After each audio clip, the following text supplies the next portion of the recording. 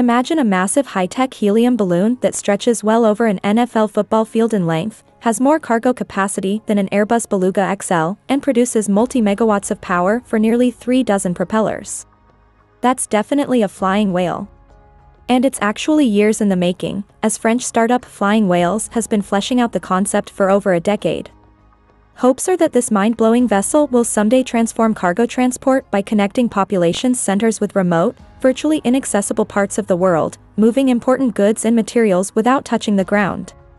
Having grown up quite accustomed to seeing the Goodyear blimp hovering over football and baseball games, I never realized just how rare airships actually are in the 21st century. In fact, Goodyear's small fleet is among a mere 10 operational blimps in the world. A more commonly cited figure puts the worldwide number at 25, with only about half of them still operating.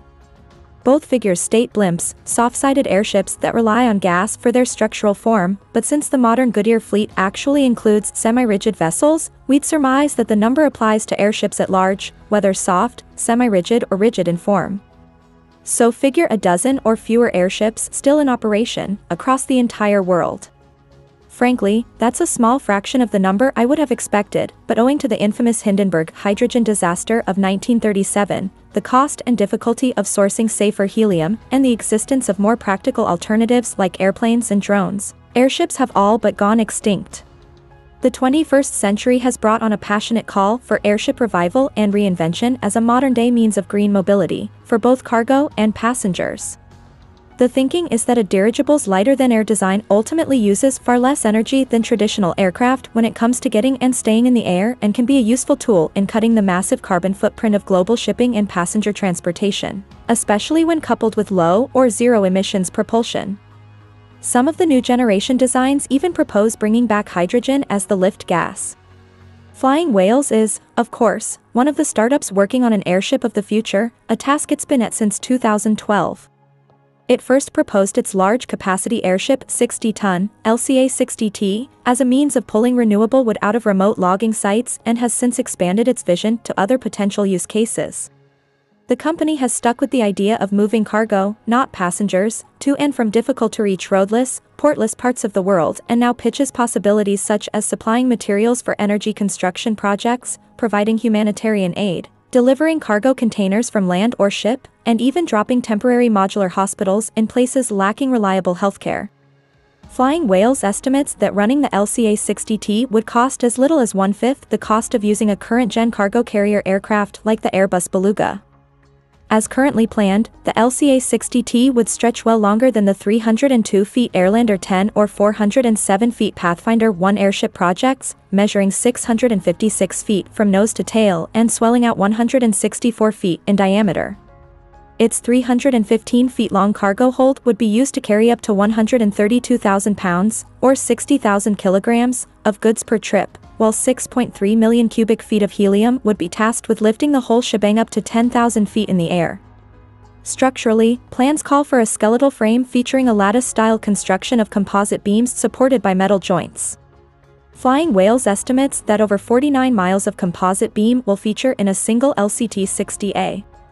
The frame will be sandwiched between the 14 non-pressurized helium cells inside and a specially developed outer skin that assists with aerodynamics and structural integrity. Those helium cells will use an array of temperature, pressure and humidity sensors to maintain proper lift through the variable conditions of air travel.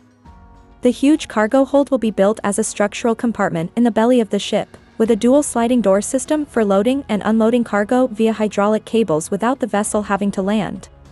This functionality will eliminate the need for any expensive, complex landing infrastructure. Flying Whales is targeting a top speed of 63 miles per hour using 32 propeller drives capable of a combined 5,360 horsepower. Its initial prototype will use a combination of high-voltage lithium-ion batteries and turbine generators to keep those electric propeller drives spinning, but the company ultimately plans to slash localized emissions with hydrogen fuel cell power generation. Recently, British electric motor startup Evolito announced that it will be supplying electric motors for the LCA-60T project. A spin-off of YASA, Evolito is focused on creating lightweight, power-dense axial flux motors for aerospace applications and will supply its D250 motors to flying whales. Each LCA-60T will use 32 of the 308 horsepower motors to drive the lines of propellers running up, down, and across its outer skin. Flying Whales plans to begin flight testing in 2027, but that timeframe could quite easily get pushed back with a project of this magnitude.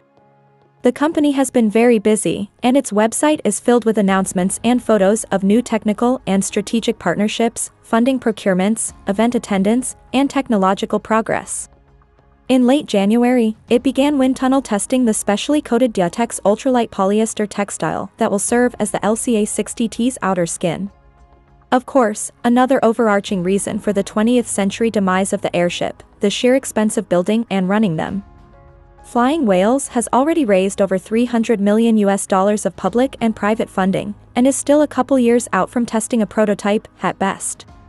Whether its airship ultimately ends up an economic boon or boondoggle remains to be seen, although the same can be said of many other visionary startups, airship and otherwise. So long as these ambitious startups are operational though, we'll certainly be watching and waiting for someone to fulfill the grand vision of giant drivable balloons creating a cleaner, more worldly means of cargo and people transport.